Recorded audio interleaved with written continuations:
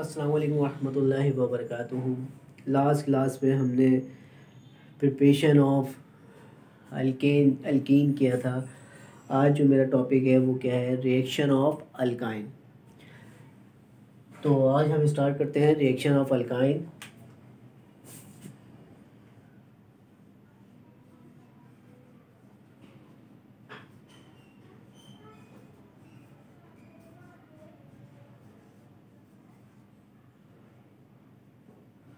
सबसे पहला जो मेरा रिएक्शन है वो क्या है? फ्रॉम हाइड्रेशन सही। यानी कि हाइड्रेशन के ऊपर हम क्या कर रहे हैं? हाइड्रेशन हम करवा रहे हैं किसके ऊपर? अल्काइन के ऊपर। अल्काइन के ऊपर हम क्या कर रहे हैं? एच टू की एडिशन करवा रहे हैं। एज अ सोडियम के साथ। सोडियम ले लें निकल ले लें प्लेटिनियम ले लें तो यहाँ पर मैं क्या करता हूँ प्लेटिनियम ले लेता हूँ। प्लेटिनियम के साथ करवाएँगे तो क्या बन जाएगा? डबल बॉन्ड फॉर्म हो जाएगा। सही है? सेकेंड रिएक्शन हमारा क्या है?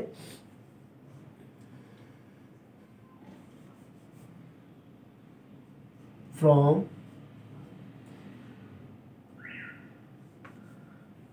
from hydrohalide हाइड्रोलाइड्स का मतलब क्या है? एच एक्स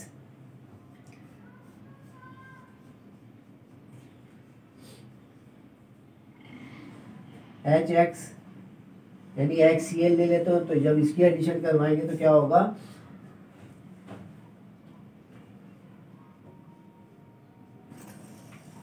ये हमारे पास क्या बन जाएगा? अल्काइल हेलाइड बन जाएगा। सही है? तो पहली प्रिपरेशन हमारी क्या हुआ? फ्रॉम हाइड्रेशन यानी कि एच टू के साथ रिएक्शन करवाया। तो हमारे पास क्या बन गया? अल्काइन से अल्कीन फ्रॉम हाइड्रोहाइलाइड की बात करें, यानी कि एच एक्स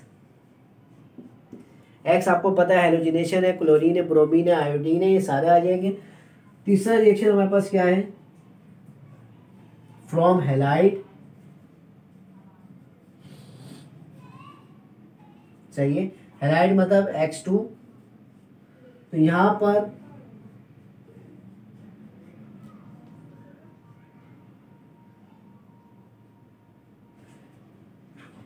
एक्स टू की एडिशन होगी।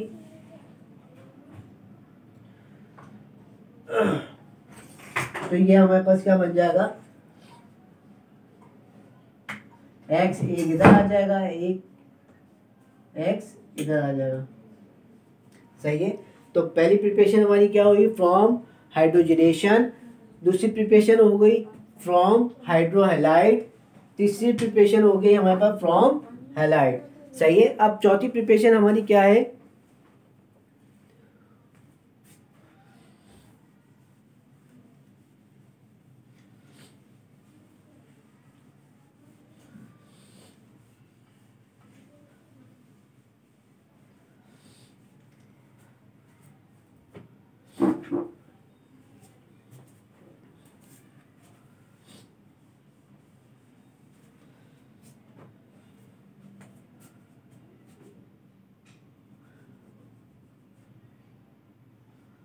चौथी प्रिपरेशन हमारी क्या है? वाटर के साथ है। रिएक्शन तो ये हमारे पास क्या हो जाएगा?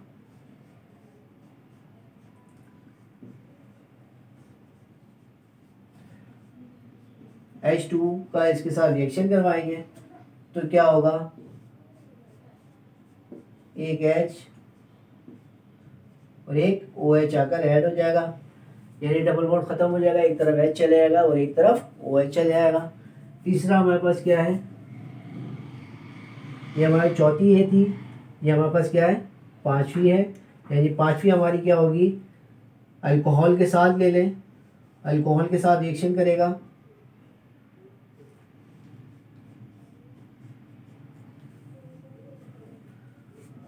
H O C H three यानी मिथेनॉल यहाँ पे ले लिया। तो यहाँ पर क्या होगा? एक तरफ़ एच आकर ऐड हो जाएगा। और एक तरफ़ मिथोक्सी आकर ऐड हो जाएगा। तो ये हमारे पास क्या बन जाएगा? ईथर बन जाएगा। सही है? ये हमारी हो गई सिंपल पाँच रिएक्शन अब हमारे चलते हैं छठा रिएक्शन सही है? तो छठा रिएक्शन क्या होगा?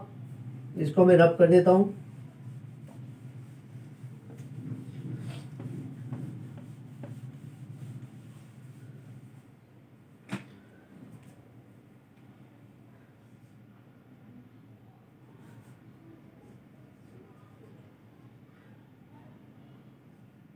Preparation of acetylide anion from alkyne सही है? अल्काइन का ये एक रिएक्शन है, जिसको हम कहते हैं ये बनता है एसिटिलाइड एनाइन यानी कि अल्काइन एक वीक एसिड है, इसके साथ क्या होता है? स्ट्रॉन्ग एसिड का रिएक्शन सोडियम अमाइन का रिएक्शन करवाते हैं और ये as a good nucleophile form होता है। जिसको हम क्या कहते हैं? एसिड एनाइन तो ये हमारे पास क्या हो जाएगा? ये हमारे पास क्या है? अल्काइन है। इसके साथ हम क्या कर रहे हैं? N A N H two का रिएक्शन सही है? अब ये क्या होगा? ये जो अमोनिया है, ये क्या काम करेगा? एच को कैप्चर करेगा, इसका इलेक्ट्रॉन इधर दे देगा। तो ये हमारे पास क्या बन जाएगा?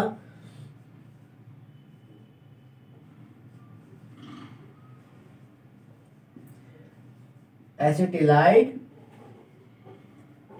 एनाइन सही है?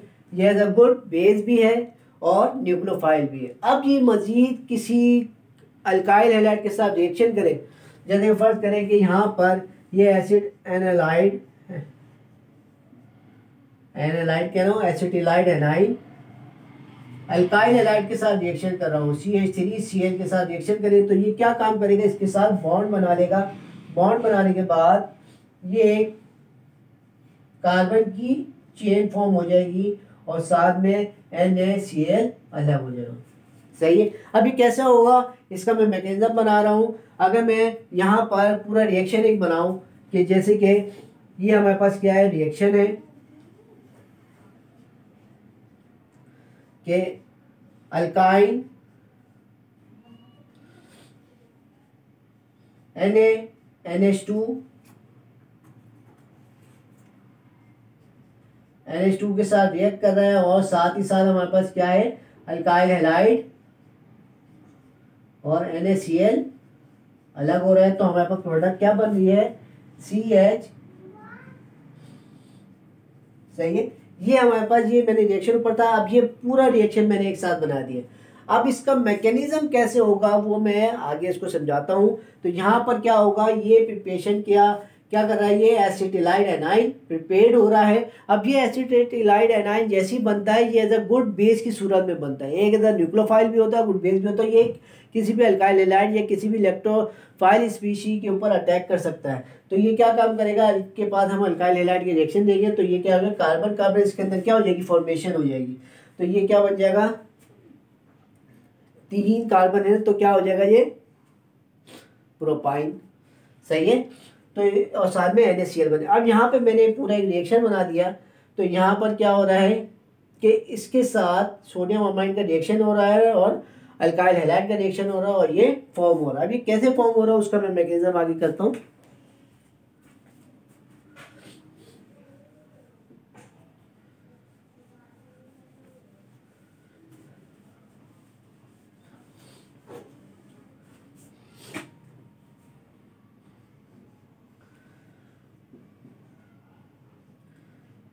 ये हमारे पास क्या है? अल्काइन है। इसके ऊपर मैं क्या कर रहा हूँ? सोडियम अमाइन सही है? अमाइन ग्रुप क्या करेगा? इस एच को कैप्चर करेगा और इसका इलेक्ट्रॉन इसको दे देगा। यानी कि यहाँ पर क्या बन रहा है? N H three ammonia gas खारिश हो रही है।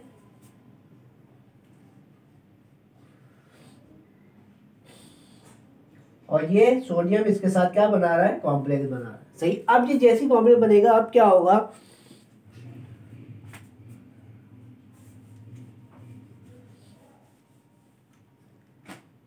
ये हो गया हमारा फ़र्स्ट स्टेप सेकंड स्टेप में क्या होगा कि जैसी एसिटिलाइड एनाइन फॉर्म होगा, ये एसिटिलाइड एनाइन किसके साथ रिएक्ट करेगा? किसी भी अल्काइल हेलाइड ले लें। तो ये क्या काम कर रहा है? ये इलेक्ट्रॉन इस कार्बन को शेयर कर रहा है और यहाँ से ये क्लोरीन बाहर जा रहा है, यानी कि N A C L form हो जाएगा। ये रिएक्ट जैसे ही करेगा, ये कॉम्प्लेक्स ब्रेक होगा और ये इसके साथ बॉन्ड बना लेगा और ये आपके पास क्या बन जाएगा?